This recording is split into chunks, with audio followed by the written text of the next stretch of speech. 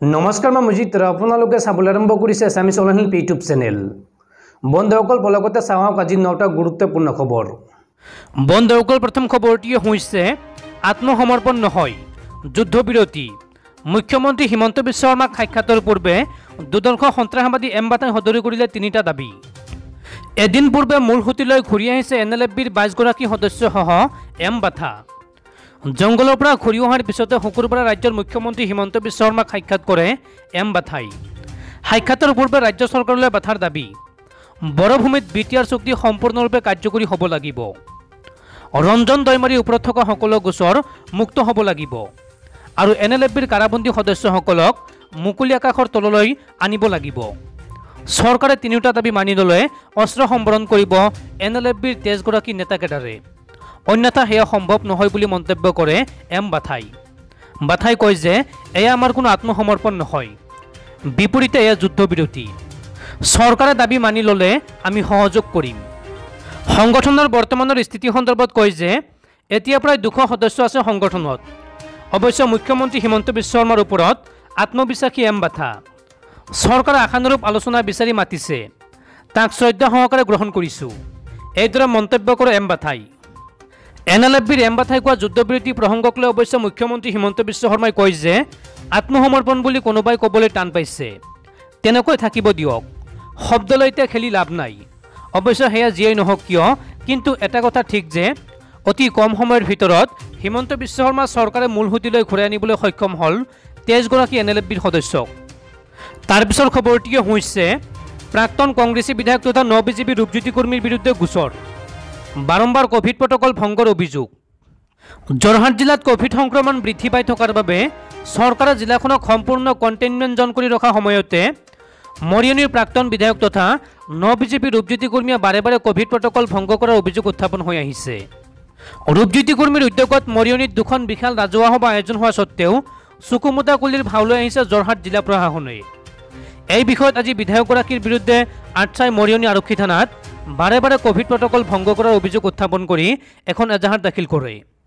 এজাহাৰ দাখিল কৰাৰ পিছতে আঠচাৰ মৰিয়নি শাখাই আজি মূল্যবৃদ্ধিৰ লগতে ৰূপজ্যোতি কৰ্মীৰ ক'ভিড প্ৰট'কল ভংগৰ বিৰুদ্ধে মৰিয়নিৰ থানা তিনিআলিত হাতে হাতে প্লে কাৰ্ড লৈ মানৱ শৃংখল কাৰ্যসূচী গ্ৰহণ কৰি প্ৰতিবাদ সাব্যস্ত কৰে। এতিয়া প্ৰশ্ন হৈছে যে ৰূপজ্যোতিৰ বিৰুদ্ধে আৰক্ষীয়ে কেনেধৰণৰ পদক্ষেপ গ্ৰহণ কৰে সেয়া লক্ষণীয় হ'ব। বন্ধুসকল তাৰপিছত তিনি নম্বৰ খবৰটো। জনোৱাৰ আগতে আপোনালৈ এটা সৰু ৰিকুৱেষ্ট যদি এতিয়ালৈকে এইটো ভিডিঅ'ত লাইক কৰা নাই তেন্তে প্লিজ এটা লাইক কৰি দিয়ক। আৰু এনেকুৱা ধৰণৰ নতুন নতুন ভিডিঅ' পাবলৈ চেনেলটো ছাবস্ক্ৰাইব কৰি কাষত থকা বেল আইকনটো প্ৰেছ কৰি ৰাখক। তাৰপিছৰ খবৰটিও হৈছে অসমত বৃদ্ধি পাই আছে কৰোণাত আক্ৰান্ত হোৱা আৰু মৃত্যু হোৱা লোকৰ সংখ্যা। অসমত বিগত চৌব্বিছ ঘণ্টাত নতুনকৈ পুনৰ এক হাজাৰ ছশ একৈছগৰাকী লোক আক্ৰান্ত হৈছে মহামাৰী ক'ভিড নাইণ্টিনত অসমত বিগত চৌব্বিছ ঘণ্টাত এক লাখ সাতচল্লিছ হাজাৰ এশ পঁচাত্তৰগৰাকী লোকৰ ক'ভিড টেষ্ট সম্পন্ন কৰা হৈছিল। আৰু ইয়াৰে ভিতৰত এক হাজাৰ ছশ একৈছগৰাকী লোকৰ দেহত ক'ভিড নাইণ্টিন পজিটিভ ধৰা পৰে। আৰু অসমত বিগত চৌব্বিছ ঘণ্টাত কৰোণাত আক্ৰান্ত হৈ পোন্ধৰগৰাকী লোকৰ মৃত্যু হৈছে। দুদিনীয়া ভ্ৰমণসূচীলৈ শনিবাৰ অৰ্থাৎ আজি শ্বিলঙত উপস্থিত হ'ব কেন্দ্ৰীয় গৃহমন্ত্ৰী অমিত শ্বাহ। সীমা বিবাদক লৈ হ'ব আলোচনা। দুদিনীয়া ভ্ৰমণসূচীলৈ শনিবাৰ অৰ্থাৎ আজি মেঘালয়ৰ শ্বিলঙত উপস্থিত হ'ব কেন্দ্ৰীয় গৃহমন্ত্ৰী অমিত শ্বাহ। তেওঁৰ সৈতে উত্তৰ পূব অঞ্চলৰ উন্নয়ন মন্ত্ৰালয়ৰ ৰাজ্যিক মন্ত্ৰী ডক্টৰ জিতেন্দ্ৰ সিং আৰু ভাৰতৰ উত্তৰ পূব অঞ্চলৰ সংস্কৃতি আৰু উন্নয়ন মন্ত্ৰী জি কিষাণ ৰেড্ডীও আহিব। চৌব্বিছ পঁচিছ জুলাইৰ দুদিনীয়া ভ্ৰমণকালত অমিত শ্বাহে ক্ৰায়জেনিক অক্সিজেন প্ৰকল্প উদ্বোধন কৰাৰ লগতে শ্বিলঙৰ অসম ৰাইফলছৰ মুখ্য কাৰ্যালয় পৰিদৰ্শন কৰিব। ইয়াৰ পিছত পঁচিছ জুলাইৰ বিয়লি গুৱাহাটীত এক অনুষ্ঠানত অংশগ্ৰহণ কৰিব। গৃহমন্ত্ৰী অমিত শ্বাহৰ ভ্ৰমণক কেন্দ্ৰ কৰি মুখ্যমন্ত্ৰী কনৰাড চাংমাই যোৱা সপ্তাহত সাহসীয়া দলসমূহৰ সভাপতিসকলৰ সৈতে এক বিশেষ বৈঠকত মিলিত হৈছিল। গৃহমন্ত্ৰী অমিত শ্বাহে শ্বিলঙত উত্তৰ পূবৰ ৰাজ্যকেইখনৰ মুখ্যমন্ত্ৰীৰ সৈতে কেইবাখনো গুৰুত্বপূৰ্ণ বৈঠকত মিলিত হ'ব। মুখ্যমন্ত্ৰী কেইগৰাকীৰ উপস্থিতিত গৃহমন্ত্ৰী অমিত শ্বাহে উত্তৰ পূবৰ উন্নয়ন ড্ৰাগছ মানৱ সৰবৰাহ আইন শৃংখলা সীমা সমস্যা আদি বিষয় সন্দৰ্ভত আলোচনা কৰিব। মুখ্যমন্ত্ৰী কেইগৰাকীৰ উপৰিও মুখ্য সচিব আৰু আৰক্ষী সঞ্চালক প্ৰধানকেইজনো উপস্থিত থাকিব। তাৰপিছৰ খবৰটিও হৈছে ছিকিমৰ পৰা উদ্ধাৰ অসমৰ চল্লিছটা শিশু। আৰু ঘটনাত জড়িত দুগৰাকী মানৱ সৰবৰাহকাৰীক আটক কৰা হৈছে। অসম আৰক্ষীৰ বৃহৎ সাফল্য। অসম আৰক্ষীয়ে ছিকিমত মানৱ সৰবৰাহকাৰী কবলৰ পৰা চল্লিছটা শিশু আৰু দুজন প্ৰাপ্তবয়স্কক উদ্ধাৰ কৰে।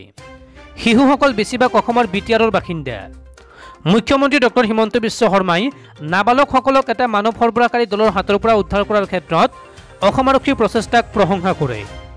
গুৱাহাটীত সংবাদ মাধ্যমৰ সৈতে বাৰ্তালাপ কৰি মুখ্যমন্ত্ৰী হিমন্ত বিশ্ব শৰ্মাই কয় যে বিশেষ আৰক্ষী সঞ্চালক প্ৰধান এল আৰ বিষ্ণয় আৰু চিৰাঙৰ আৰক্ষী অধীক্ষক গৌৰৱ উপাধ্যায়ৰ নেতৃত্বত চল্লিছটা শিশু আৰু দুইগৰাকী প্ৰাপ্তবয়স্কক উদ্ধাৰৰ ক্ষেত্ৰত দৃষ্টান্তমূলক পেছাদাৰী দক্ষতা প্ৰদৰ্শন কৰাৰ বাবে অসম আৰক্ষীৰ শলাগ লোৱাৰ লগতে অভিনন্দন জনাইছোঁ। বি টি আৰৰ মুৰব্বী শ্ৰী প্ৰমোদ বড়োৰ সৈতে আজি এই নিষ্পাপ শিশুকেইটিৰ সৈতে বাৰ্তালাপ কৰোঁ। শিশুসকলৰ উন্নত ভৱিষ্যত সুনিশ্চিত কৰাৰ বাবে শিশু কল্যাণ সমিতিৰ পৰামৰ্শ অনুসৰি আমি এই শিশুকেইটিক তেওঁলোকৰ অভিভাৱকৰ হাতত গতাই দিয়া বা আৱাসিক বিদ্যালয়লৈ প্ৰেৰণ কৰাৰ সিদ্ধান্ত লৈছোঁ। মহিলা আৰু শিশু সৰবৰাহৰ দৰে জঘন্য কাৰ্য প্ৰতিৰোধৰ বাবে অসম চৰকাৰ দৃঢ় সংকল্পবদ্ধ। এনে অপৰাধৰ লগত জড়িত ব্যক্তিসকলৰ বিৰুদ্ধে আমি কঠোৰ পদক্ষেপ গ্ৰহণ কৰিম আৰু তেওঁলোক পৃথিৱীৰ য'তে লুকাই নাথাকক লাগিলে তাৰ পৰা কৰায়ত্ব কৰিম। অসম আৰক্ষী এই দিশত সদায় সতৰ্ক হৈ থাকিব। সংবাদ মাধ্যমৰ আগত এইদৰে মন্তব্য কৰে মুখ্যমন্ত্ৰী হিমন্ত বিশ্ব শৰ্মাই। তাৰ পিছৰ খবৰটিয়ে হৈছে পেগাছাছ হেকিঙক লৈ চৰকাৰক সমালোচনা কৰি গৃহমন্ত্ৰীক পদত্যাগ কৰাৰ দাবী ৰাহুল গান্ধীৰ। সমগ্ৰ ঘটনাৰ ন্যায়িক তদন্তৰ দাবী জনাইছে কংগ্ৰেছে। চৰকাৰে পেগাছাছ স্পায়াৰক বিভিন্ন তথ্য হেক কৰাৰ ক্ষেত্ৰত মূল অস্ত্ৰ হিচাপে ব্যৱহাৰ কৰাৰ গুৰুতৰ অভিযোগ উত্থাপন কৰিছে কংগ্ৰেছ নেতা ৰাহুল গান্ধীয়ে। শুকুৰবাৰে পেগাছাছক লৈ মোদী চৰকাৰক তীব্ৰ সমালোচনা কৰি কংগ্ৰেছ নেতাগৰাকীয়ে কয় যে ইজৰাইলী ছফ্টৱেৰটো বিজেপিয়ে দেশৰ বিভিন্ন প্ৰতিষ্ঠানসমূহৰ লগতে ৰাজনীতিৰ ক্ষেত্ৰতো তথ্য সংগ্ৰহৰ ক্ষেত্ৰত ব্যৱহাৰ কৰিছিল। তাৰোপৰি ৰাহুল গান্ধীয়ে তেওঁৰ নিজৰ ফোন ৰেকৰ্ড কৰাৰ অভিযোগ উত্থাপন কৰি সমগ্ৰ ঘটনাৰ ন্যায়িক তদন্তৰ দাবী জনাইছে। চৰকাৰৰ এনে কাৰ্যক কটাক্ষ কৰি এই কাৰ্যৰ বাবে গৃহমন্ত্ৰী অমিত শ্বাহৰ পদত্যাগৰ দাবী তোলে কংগ্ৰেছ নেতাগৰাকীয়ে। মোদী চৰকাৰৰ নিৰ্দেশত হেকিং কৰাৰ অভিযোগ তুলি তেওঁ কয় যে যদি চৰকাৰৰ নিৰ্দেশত হেকিং প্ৰক্ৰিয়া হোৱা নাই তেন্তে চৰকাৰে কেন্দ্ৰীয় মন্ত্ৰী ন্যায়পালিকাৰ লগতে বহুতো বিৰোধী নেতাৰ হেকিঙৰ তথ্য পোৱাৰ পিছতো তদন্তৰ নিৰ্দেশ দিয়া নাই কিয়? উল্লেখযোগ্য যে বিৰোধী নেতা দুজন কেন্দ্ৰীয় মন্ত্ৰী ব্যৱসায়ী অনিল আম্বানী চি বি আইৰ প্ৰাক্তন মুৰব্বীকে ধৰি চল্লিছজন সাংবাদিকসহ মুঠ তিনিশৰো অধিক ফোন নম্বৰ এই তালিকাত আছে। অৱশ্যে বৰ্তমানেও এই সকলো ফোন হেক কৰাৰ তথ্য নিশ্চিত হোৱা নাই। তাৰ পিছৰ খবৰটিও হৈছে কভিডৰ বাধা আৰু অনিশ্চয়তা আঁতৰাই আৰম্ভ হ'ল টকিঅ' অলিম্পিক দুহেজাৰ বিছ কৰোণা মহামাৰীৰ প্ৰভাৱৰ ফলত প্ৰায় বাৰ মাহৰ বিলম্বৰ অন্তত অৱশেষত আৰম্ভ হ'ল বত্ৰিছতম টকিঅ' অলিম্পিক দুহেজাৰ বিছ পৰিস্থিতিৰ প্ৰতি লক্ষ্য ৰাখি কোনো দৰ্শকৰ উপস্থিতি অবিহনে প্ৰথমবাৰৰ বাবে জাপানত আৰম্ভ হয় টকিঅ' অলিম্পিকৰ উদ্বোধনী অনুষ্ঠান। জাপানৰ সম্ৰাট নাৰুহিত ফ্ৰান্সৰ ৰাষ্ট্ৰপতি ইমানুৱেল মেক্ৰন আৰু আমেৰিকা যুক্তৰাষ্ট্ৰৰ ফাৰ্ষ্ট লেডি জিল বিডনকে ধৰি কিছুসংখ্যক গণ্যমান্য ব্যক্তিৰ উপস্থিতিত অনুষ্ঠিত হয় এই আৰম্ভণি অনুষ্ঠান। আঠষষ্ঠি হাজাৰৰো অধিক লোক উপস্থিত থকাৰ ক্ষমতা সম্পন্ন ষ্টেডিয়ামত জাপানৰ সম্ৰাট নাৰুহিতে আনুষ্ঠানিকভাৱে মুকলি কৰে বহু প্ৰত্যাশিত বিশ্ব ক্ৰীড়া সমাৰোহৰ। ইউনাইটেড বাই ইমোশ্যন থিম আগত ৰাখি বিশ্বৰ দুশ ছয়খন দেশৰ এঘাৰ হাজাৰ তিনিশতকৈ অধিক খেলুৱৈ অংশগ্ৰহণ কৰিছে এই অলিম্পিক প্ৰতিযোগিতাত। বিশ্বৰ দুশ ছয়খন দেশৰ ভিতৰত টিম পেৰেডত ভাৰতীয় দলটোৱে একৈছতম স্থানত অংশগ্ৰহণ কৰে। টকিঅ' অলিম্পিকৰ উদ্বোধনী অনুষ্ঠানত বক্সাৰ মেৰী কম আৰু পুৰুষ হকী দলৰ অধিনায়ক মনপ্ৰীত সিঙে ভাৰতীয় দলটোক নেতৃত্ব দিয়ে।